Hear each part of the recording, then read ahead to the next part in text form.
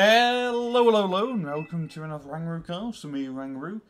And today we are doing a 4v4 on Floods, a map we haven't seen in quite a while. So on the left hand side, playing as, let me just check, playing as Blufor Team Run, we got Looker 26, Artia, Offzia 3, and Empire of Mankind, Hell be him. And on the right hand side in red, playing as Redfor, we got Dr. Akula, Falconer, Dark Lord, and Leheb.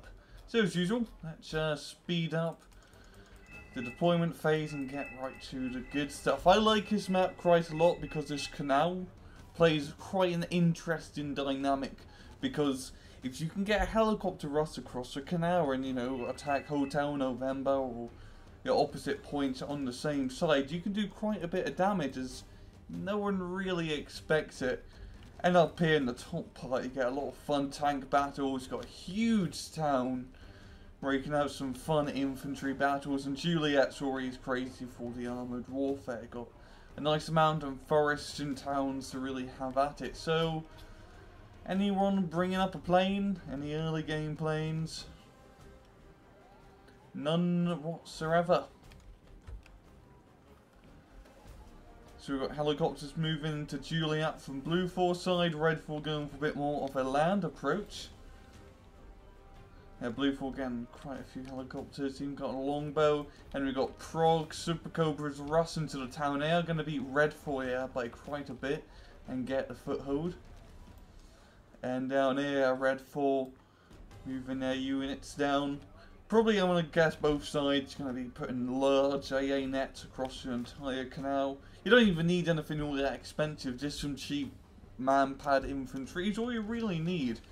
And some reconnaissance, of course. You can you can never go wrong with too much reconnaissance. Better to be all-seeing and completely blind. We've got infantry landing in the little factory in Juliet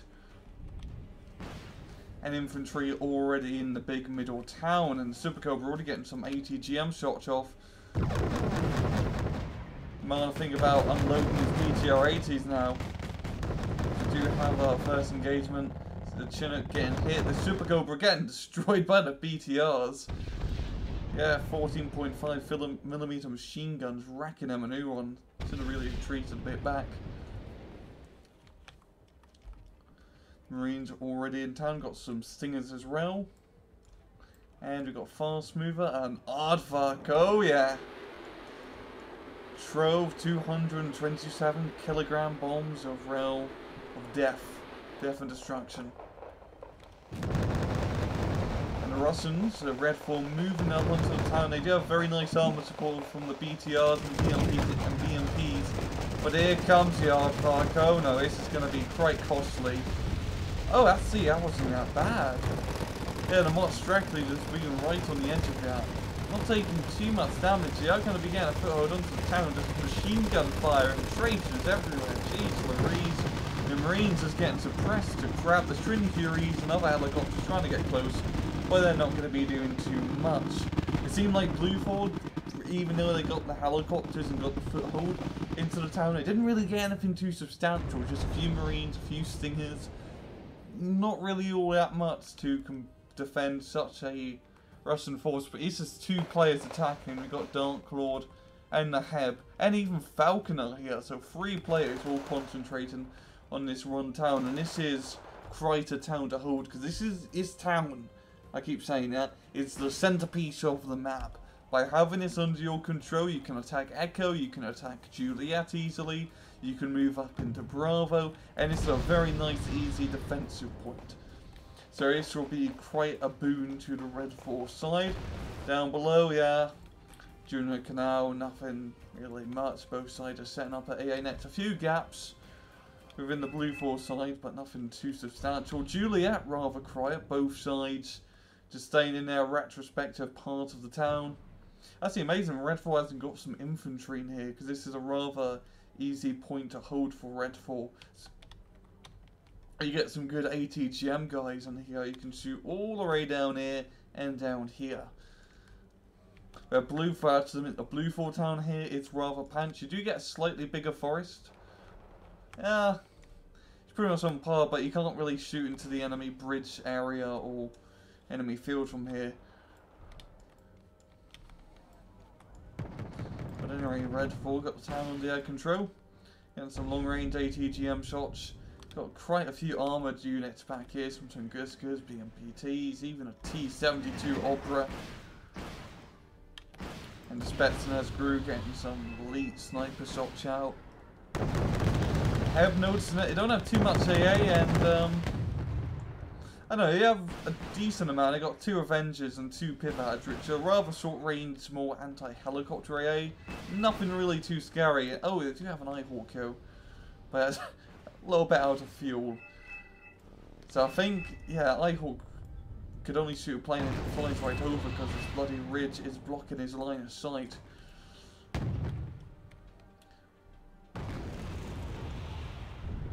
Yeah, good use of markers there. Blufor marking the Redfor armoured forces. Oh, this is a destruction match by an array, so it's all about the kills. Now we do have a little bit of a push down here. T8 is trying to move up into the forest, but they are unsupported. Our infantry in down and M1 IP Abrams and M1, yeah, IP, not a run P, an IP. Sitting in this forest, waiting for the T80s to move up. And Akula getting some more Spetsnaz in It seems like Blufor's going to be doing a bombing run. That might just get the Spetsnaz. Never mind, that is the... Oh, yeah, is the Screw You 1000 kilogram version. I thought it was cluster bombs, but yeah. Yeah, F-111C Aardvark is probably one of the scariest bombers in game. Like, I, I don't really crap my pants when I see a Nighthawk. I'm like, oh, that's going to kill one of my AI units. Or even a, a V5. But I'm, that bloody Aardvark is 8,000 kilograms of death underneath its rings and, and it spreads that death over a large area. A scary Australian thing.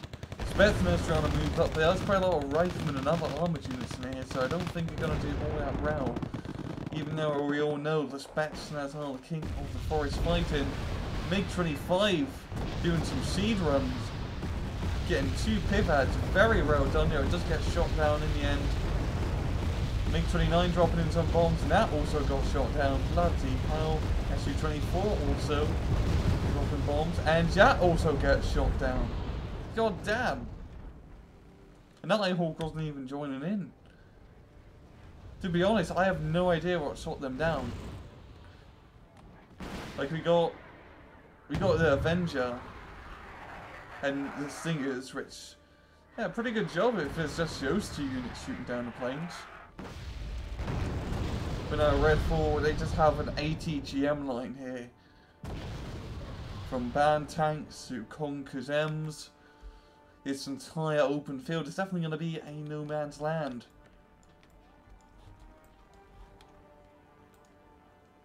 Loco coming to help. And Blufor still having the forest under control. The Redfor are just literally at the tip. Oh god. Here comes the rocket artillery. Let's get a nice... Oh yeah. One thing I love about Wargame. Just the view of it all. And that is, uh, this is just getting quite hot. Move back a wee bit. There we go.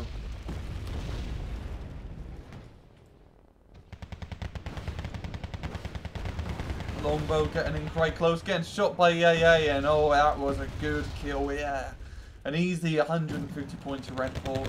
Blufor trying to move up on the town with assault engineers and then one on three, so they did disembark their assault engineers a little bit too far away.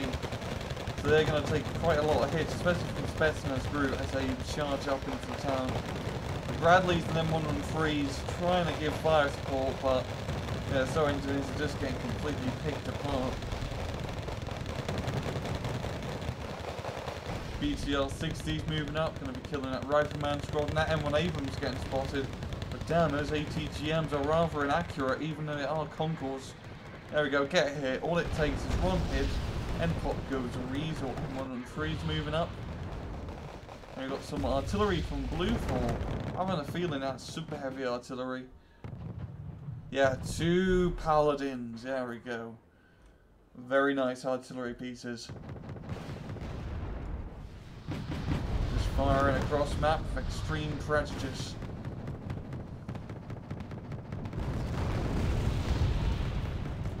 And yeah, Redfor's doing a fantastic job. They pretty much cleared the Blufor forces out of this forest town area here.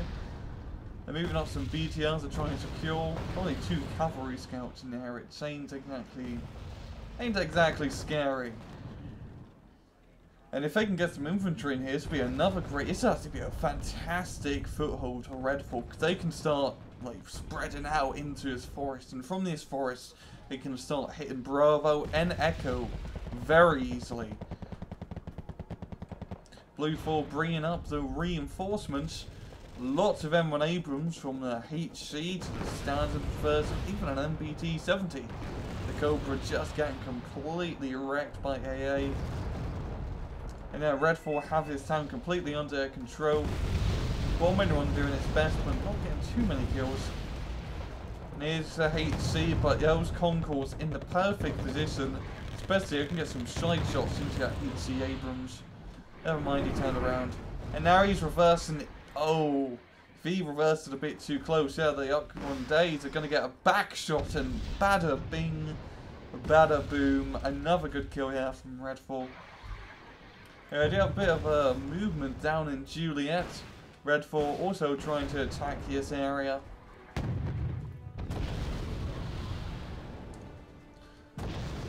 But they're not really making too much progress. Blufor got the AP and Bradley overlooking, overwatching the forest. The Tunguska getting a long range shot on her Apache, almost killing it. And this one missile is going to finish it off. right it goes. We got artillery onto the town once again.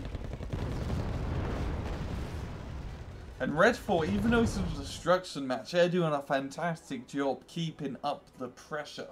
As you can see, they're winning by roughly 500 points, which is still a rather good margin. But they are just taking a lot of territory in a reasonable time frame. Yeah, it's a lot of F5, jeez. Got Blufor trying to do a push up here, but they just got spotted and completely naped. Yeah, the Marines and Diggers managing to survive, but they are going to get encroached by attack helicopters and infantry units. Oh, the Javelin in a perfect spot. Forcing the Mi-28 to flee array. And luckily for the Mi-28, the Javelin missed first shot. The BTRD and VDVs getting in close. The KA-52 almost dead. You want to get that back to base. You do not want to lose a KA-52. And these Royal Marines and Infantry, they are just going to get eaten apart. A Eurofighter Typhoon trying to come in, but evac in immediately. I think he is trying to get a cooler kill. Red Bull trying to move up some infantry, just um, North Korean militia yeah, just getting fired upon by these M113s. And these are the older M113s as they have the 1919 machine gun. Or Trin 1919s instead of the 50 cal. And that is, that is an old machine gun. Like the name suggests, it was invented in 1919. So, uh, pretty much a World War One machine gun. If you want to think of it like that. There we got two Mi-28 moving up, getting some long-range shots on the APCs. Those Ataka-Vs not to be messed around with, and Redfor just doing a counter push onto the topside forest.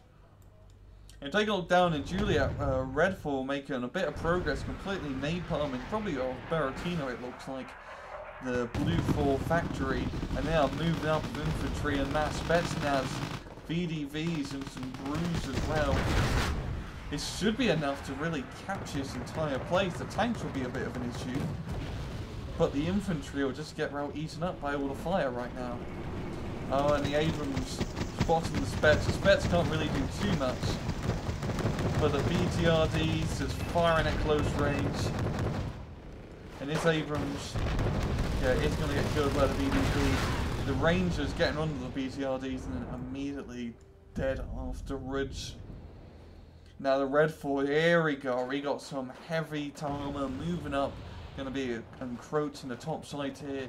And oh my god, this is an Mi-24A. Don't see these guys all too often. It's, it's, it's pretty crap to be honest. Just get a D if you want to get a attack helicopter transport. There goes Emperor of Mankind. Probably going to return back to his 40k universe. Redfor are just putting on the pressure. Blufor moving up more infantry. Got assault engineers, and this is actually a good use of assault engineers because once they get spotted, they're going to be very close to the enemy infantry. They are going to be moving up. They can't fire their flashes while moving, so they're not going to be able to do too much damage, and they just get shot up by the machine gun fire. They might think about firing some smoke before actually advancing. Instead, they're going to be using some standard artillery. They're going to be suppressing their militias, and here comes Royal Marines. They're just getting shredded up well. Same as the diggers. There's so much machine gun fire from the Red Force side. RT left. Blufor down, two men now. A-10 Thunderbolt flying over and evacuating immediately. Very good bombing run on the Redfor town and continuous artillery support. But Blufor, they still haven't managed to get a foothold back into this area and they are losing points like crazy. Redfor at a 1,000 point lead. We got an F1 on Aardvark dropping its payload. A Raven trying to get some SEAD kills. MiG-21 PMs uh, yeah, yeah, I have the ATGMs. Getting a few hits. And then man, when I think about evac, and, and this Ihawk, oh, it's out of ammo. Thought it's about to say, hasn't really shot anything. But it has shot stuff, but never mind. Could use, could use a bit of ammunition here. The A-10 Thunderbolt flying around, managing to get a ZSU-57 kill, nothing all too fancy. And he is going to be evacing taking a few hits, but hey, that's what the A-10 Thunderbolt is all about. Blufor moving up infantry on the top side through the valley. The M113 is bypassing the BTRs, which are surprisingly out of fuel. They should be a nice little beacon for Redfor to spot this infantry. And damn, these M113s are just suffering def defections like crazy but they are still alive. His BTRD's only having 7.62 machine guns. He's going to be unloading the infantry, to get the rocket shots off. Blue Ball once again trying to move up the infantry, but it's BTRD killing the diggers.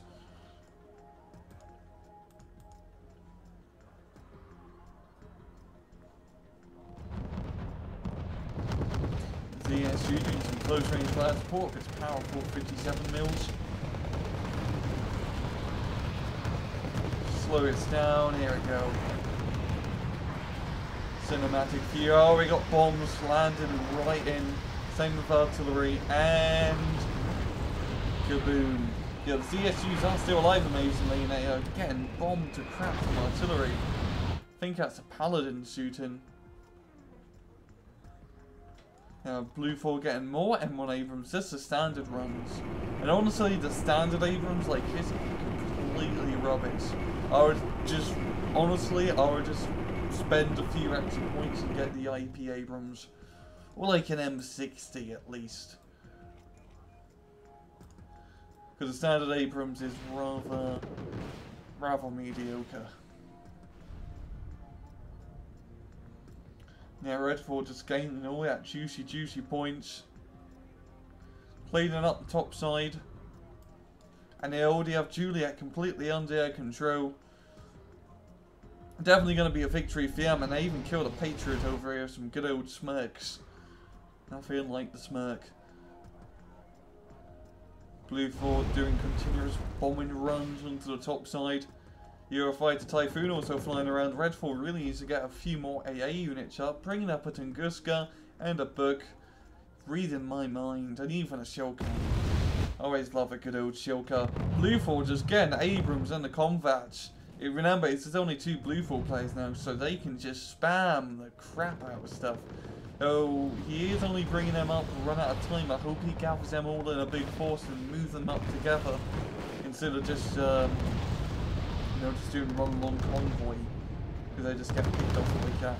The Cobra getting killed, or almost killed it. The ZSU finally destroying it. Redfor moving up into Bravo.